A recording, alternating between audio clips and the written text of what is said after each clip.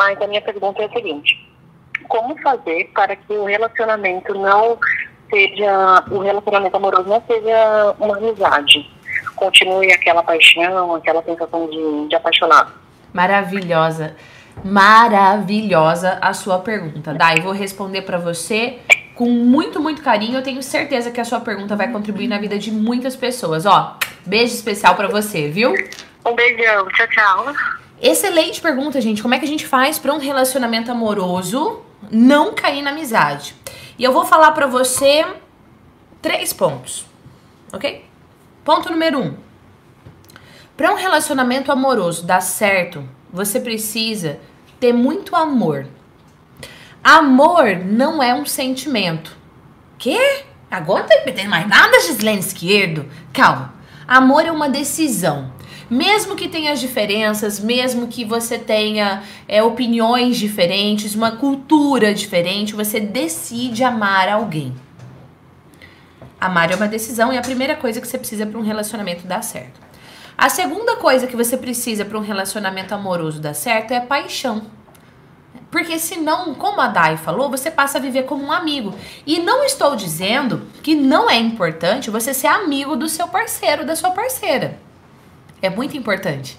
É muito importante você se abrir, conversar, poder pedir colo, poder desabafar. É muito importante. Mas, se você mantém só amizade e você perde a paixão, você passa a ser só amigo. E muitas vezes a paixão se perde por vários fatores. Eu vou falar dois fatores aqui. O primeiro fator é você deixa de fazer coisas. Eu disse você deixa e não o outro deixa. Eu não tô falando do outro hoje, eu tô falando de você. Combinado? Você deixa de fazer coisas para manter a paixão acesa. Então, lá no início do relacionamento, quando vocês se conheceram, quando vocês estavam na arte da conquista, vocês tinham vários comportamentos. Vários. Vou te dar um exemplo. Quando você encontrava a pessoa, aí você abraçava, aí você dava aquele abraço que encaixa, gostoso, você entendeu? Aí você sentiu arrepio. Aí hoje, o que, que você faz? Você mal abraça a pessoa, entendeu? Você abraça o quê? Quando você tá o quê? Bafudo, bafuda. Ah, ninguém merece, né? Então você tem que se cuidar. Outra coisa, no começo do relacionamento, quando você tá lá na arte da conquista, você se arruma, você se perfuma, você toma banho, você depila o sovaco, você faz a barba, né? Homens e mulheres aí, tô falando pros dois, entendeu? Aí você se arruma todo pra ver a pessoa. Depois que você já conquistou, você dorme o quê? Com aquela camiseta do político. Ah, é difícil a vida daí, né? É muito. Entendeu? Então, o que é que você fazia lá no começo do relacionamento, você precisa fazer hoje. Presta atenção no que eu vou dizer agora. Eu trabalho isso dentro da minha melhor versão, mas eu vou te dizer agora.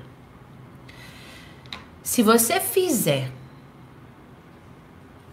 no fim do seu relacionamento o que você fazia no início dele, ele não terá um fim. Entendeu? Se você fizer no fim do relacionamento o que você fazia no início dele, ele não vai ter um fim. Segunda coisa que eu vou te falar. Para você manter a paixão de um relacionamento, você precisa pensar: e se hoje fosse o meu último dia com essa pessoa? O que eu gostaria de falar, de fazer, de viver junto com ela? E aí você passa a viver sua melhor versão hoje, como se fosse o último dia da sua vida. Não, ai, no desespero que. Não, não, não, não, não. Mas assim, viver intensamente hoje, amar intensamente hoje, respeitar intensamente hoje. E vou te dar uma dica mais aqui. Eu falei que para um relacionamento amoroso dar certo, você precisa de três coisas. Primeiro é amor, segundo é paixão e a terceira é inteligência. Por que a gente precisa de inteligência? Porque se você tiver amor, tiver paixão, mas não tiver inteligência, é isso que vai acontecer com o seu relacionamento. E para quem tá no podcast, eu mostrei o dedo do meio. Tá bom? Por quê? Porque tem dia que você vai estar tá com o saco cheio, tem dia que você vai estar tá cansado, tem dia que você vai estar tá mais estressado. Se você não for inteligente nesses dias, você pode pôr tudo a perder. Então você precisa sim ter inteligência nos seus relacionamentos.